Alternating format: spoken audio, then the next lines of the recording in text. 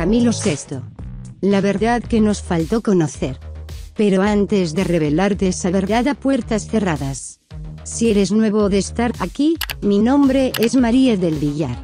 Te pido que te suscribas, y que hagas parte del mundo de Show Viral Noticias. Como ex sabido, Camilo VI es considerado uno de los artistas más reconocidos en el mundo, pero aún existen una serie de misterios que no se revelaron a lo largo de su carrera. A pesar de su excentricidad, a pesar de que mujeres enloquecían por él, a pesar de la euforia que causaba cuando pisaba el escenario y que muchos artistas le pedían que escribiera para ellos. Sin embargo, su vida personal estuvo acompañada por rumores tormentosos y murmullos sobre su orientación sexual, el rey de la balada, jamás habló sobre el tema. Siempre se le relacionó con algunas actrices, como Andrea Broston y Maribel Martin, pero las habladurías acerca de su homosexualidad siempre lo persiguieron, como otro de los mitos que desmintió tajantemente, y es de las intervenciones quirúrgicas que se habría hecho en el rostro. Camilo siempre aseguró que nunca se ha operado la cara, y que cuando tuviera que hacerlo lo haría. Pero a lo que quiero llegar amigos, es la verdad a puertas cerradas, que siempre se comentó, y es el amor imposible de Camilo VI, y que tuvo relación con Miguel Bosé. Tras el fallecimiento de Camilo VI, mucho se dijo de las mujeres y hasta de hombres que lo rodearon, pero nadie confirmó nada. Solamente se habló de su decisión de tener un hijo con la periodista mexicana que es madre de Camilo Jr. En tanto, salieron a la luz algunos romances y hasta declaraciones de un hombre que prestaba servicios al cantante como asistente, y dio a entender que desde el primer momento lo de ellos no fue una relación laboral, eran mucho más que eso, tenía una relación de pareja, según asumió el declarante en un programa de espectáculos mexicano.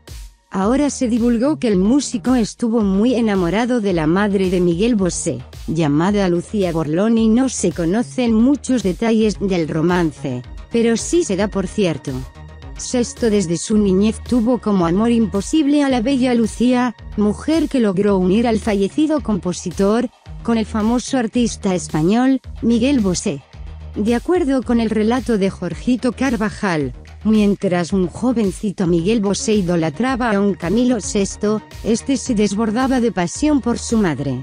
Estaba obsesionado con Lucía Bosé desde pequeño, y cuando al fin la conoció, se convirtió en su gran amor. Incluso cuando la relación terminó, no volvieron a separar sus caminos.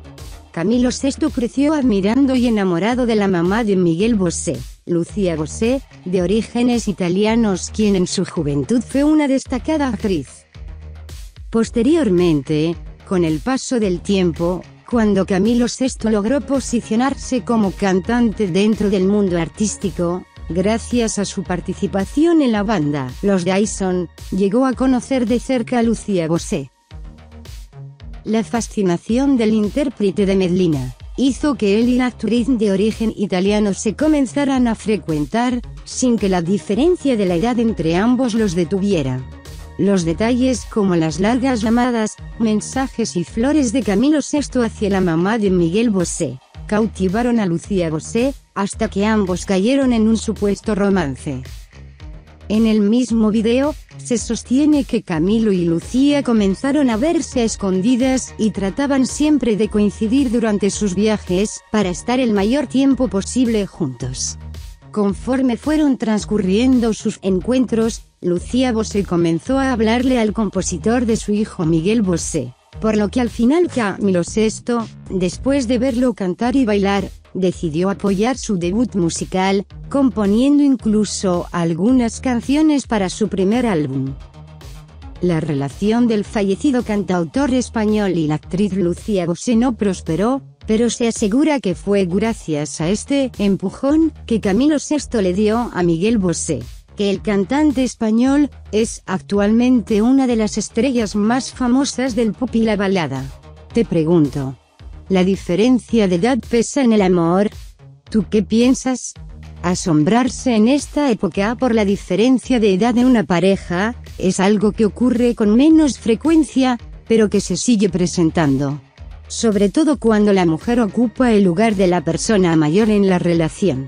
Aunque no existen datos exactos, las realidades que antes dictaminaban que las mujeres preferían a los mayores, y los hombres a las jóvenes, parece ponerse en duda, y dar más cabida a otro tipo de relaciones.